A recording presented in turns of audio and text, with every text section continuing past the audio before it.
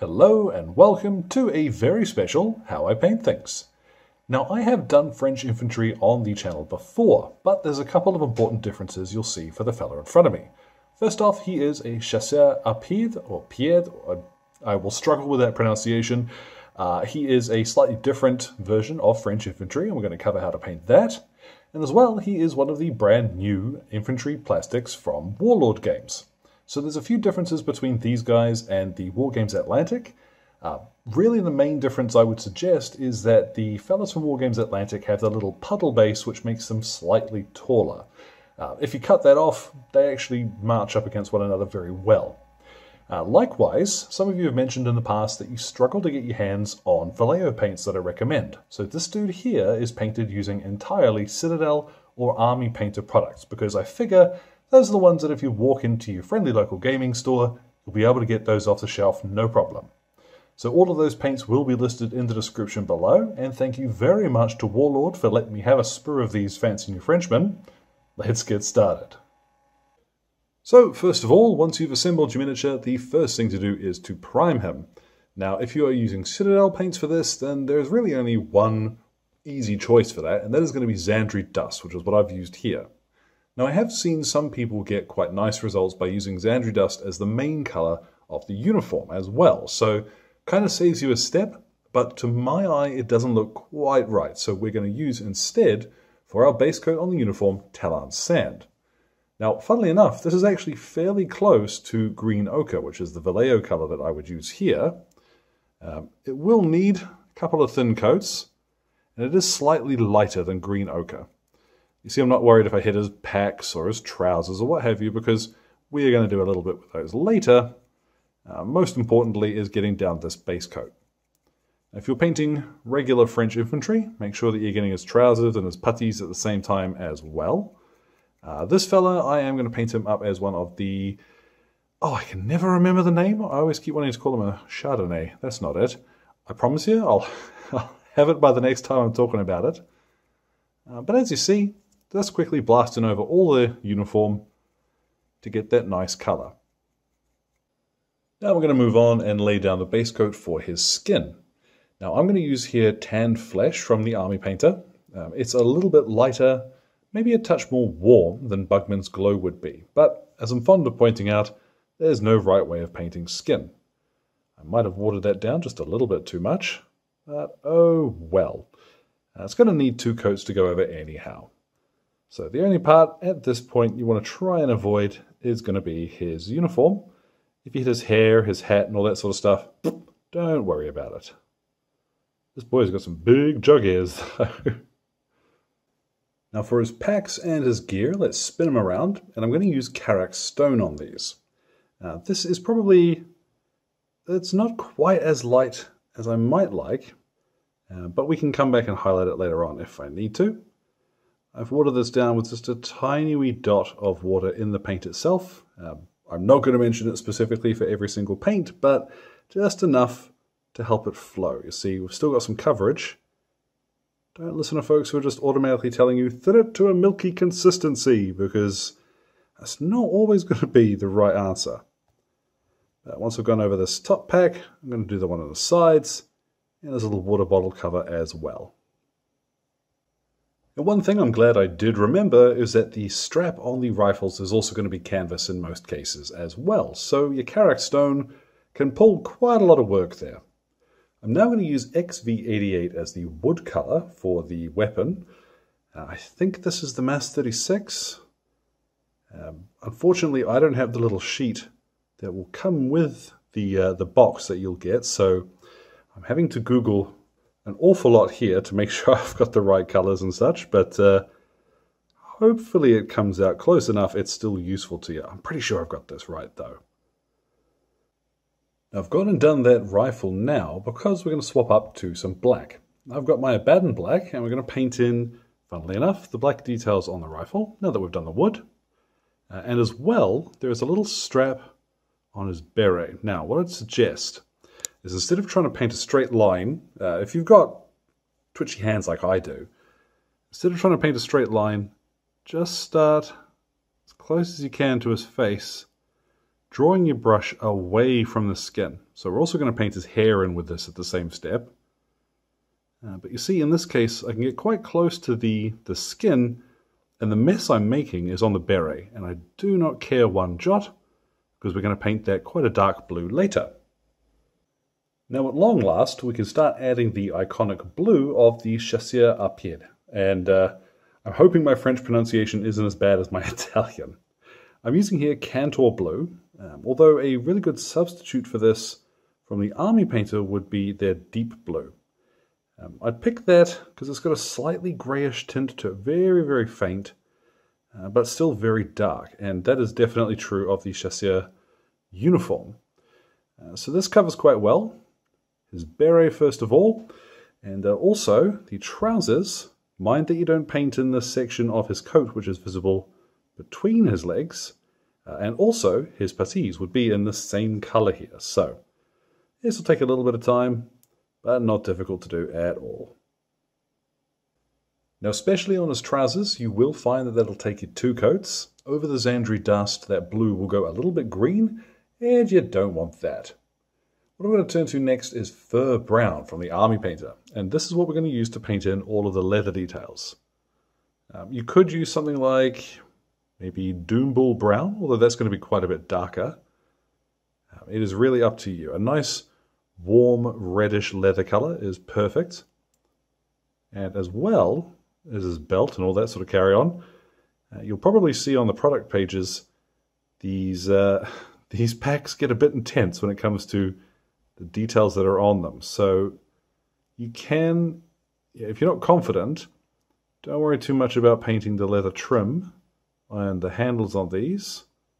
Um, but if you've got a steady hand or a bit of patience, remember that you can come back with that Karak stone and tidy it up if you need to.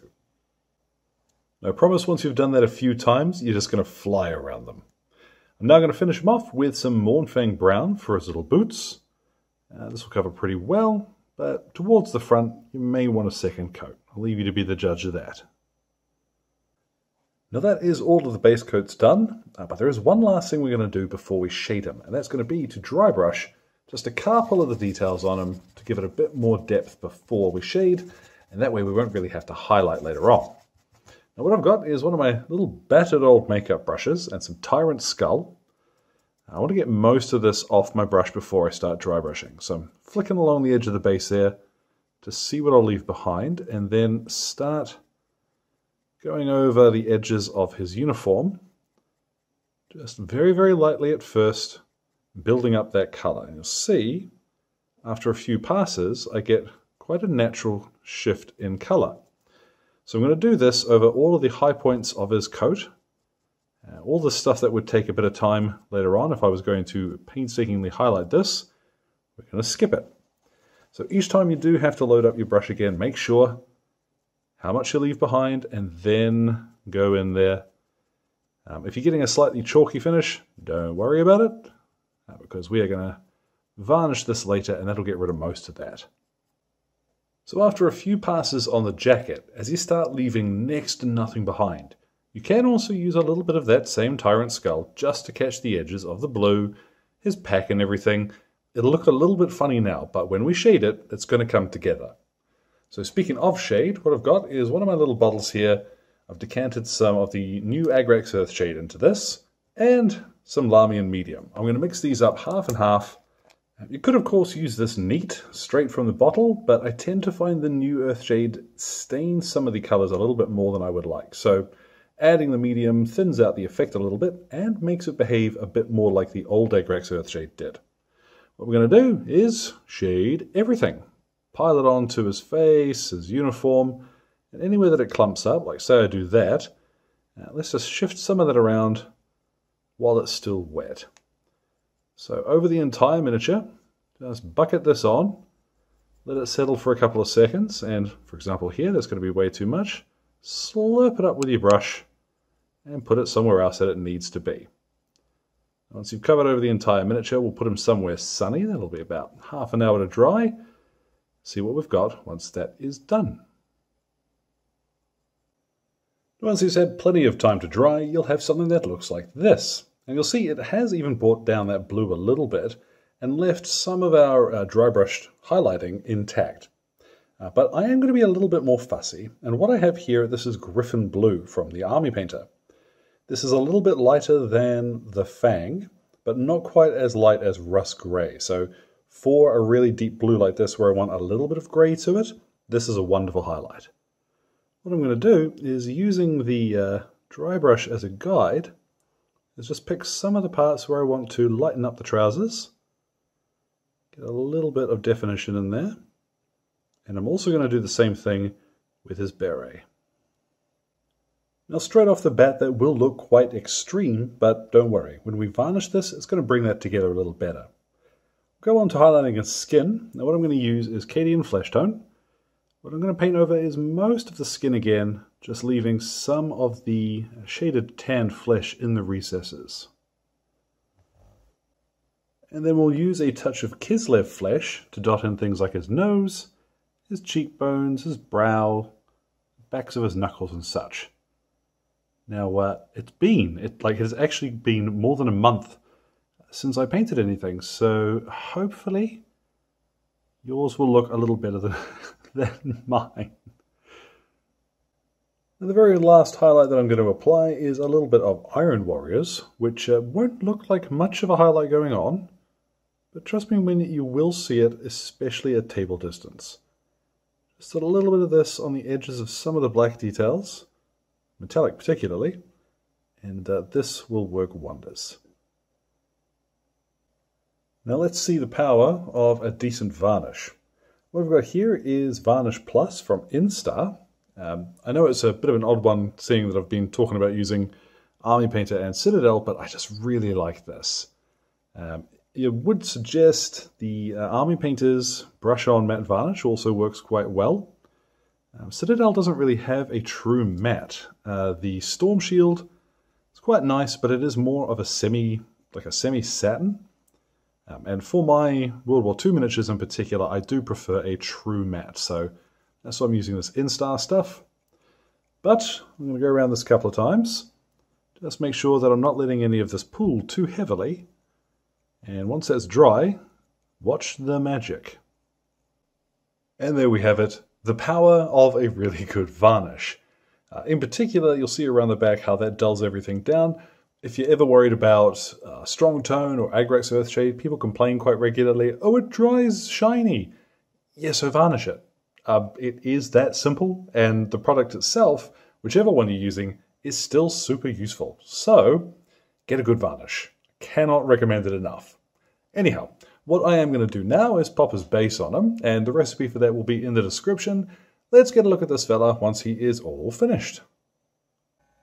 And there at last, our French infantryman is complete. Now, is he fancy?